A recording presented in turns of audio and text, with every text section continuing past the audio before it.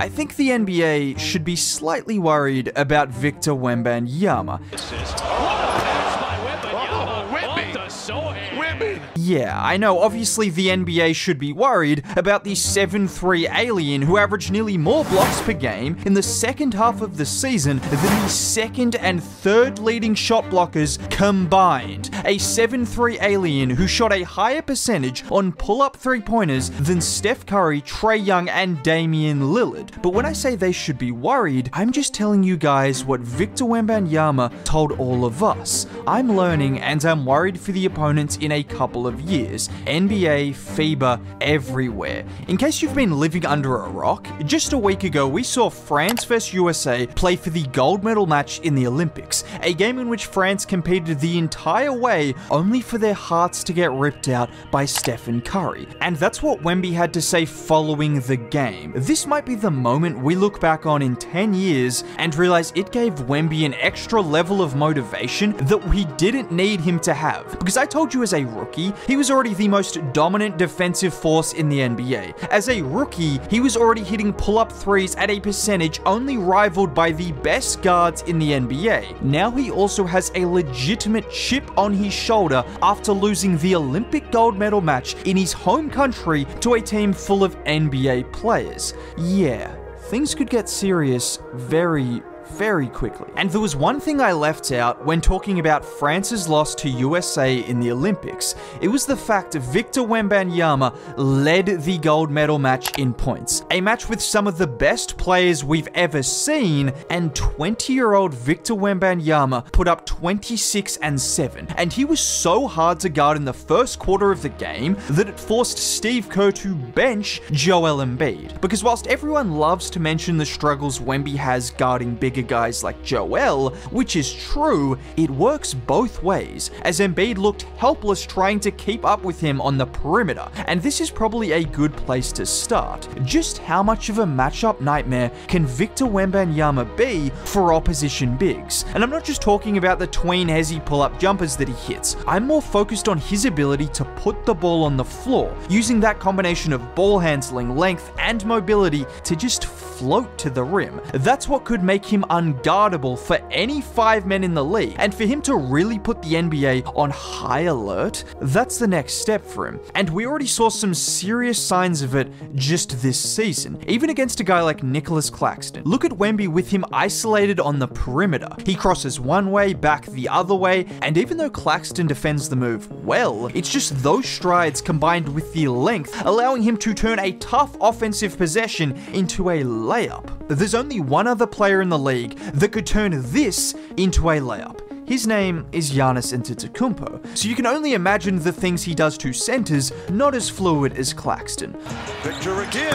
Oh, goodness! Stop it! Yes, thank you for the timeout. Stop that! Most people will focus on the ferocious dunk Wemby threw down on that play, but I'm more focused on just how quick that first step is, using Tre Jones as a smokescreen to throw off Richards before bursting down the lane and throwing it down. Or in this play against Kessler, where the ball initially gets poked out, but that only helps him as he then has more space to attack a backtracking Kessler and watch the in and out dribble before throwing it down. He makes it look like it's a Nerf hoop, and continuing to improve his handle and ability to take centers off the dribble, like in these plays, is what I want to see Wemby continue to focus on. Because it's one thing to have a handle as a 7 footer, but the potential for Vic as a driver is so high because you have to respect his jump shot, which gives him more opportunity to blow by you, and not only does he have a handle, but he's got legitimate speed and freakishly good mobility for someone his size. So he's able to attack angles at speed that you rarely ever see from big men.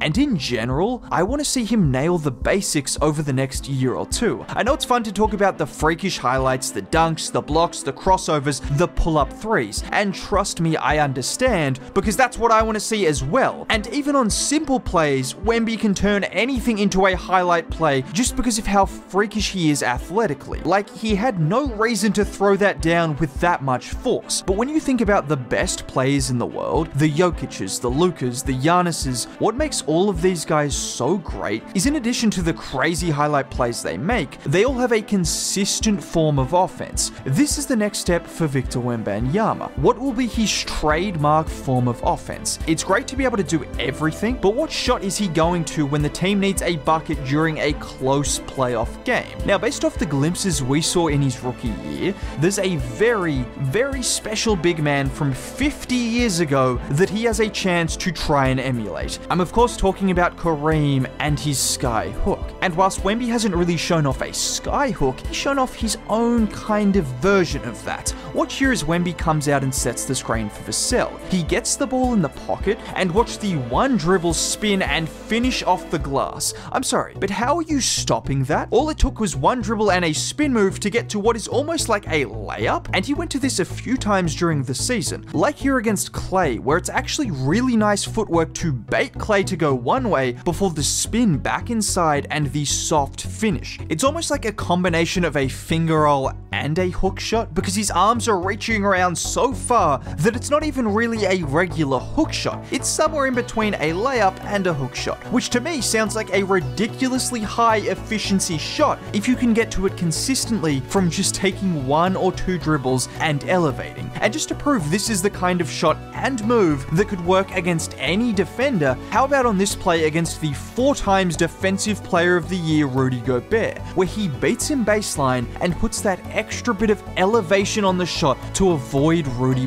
blocking him. Just imagine the floor for Wemby's game if he has a reliable hook shot and continues to improve as a driver. Because we already know he's getting 10 to 15 points a game off lobs and dunks off cuts. So you have an easy 20 points a game off baskets right near the rim, without mentioning the free throws, and then teams will have to account for his three point shooting, his mid range game. Oh, and what makes Wemby such a great offensive prospect isn't just his scoring ability. In fact, the most underrated part of his entire game is his passing. He was a little turnover prone during his rookie season, but that's just incredibly common for rookies, particularly rookies playing on poor teams with very high responsibility. But despite that, it's not about the fact he averages 4 assists per game. It's the passes he makes, which very few other centers are capable of making. Just look at him here in transition. Get the ball from Tre, and it's that initial drive which collapses the defense before disguising the pass perfectly. And Wemby will make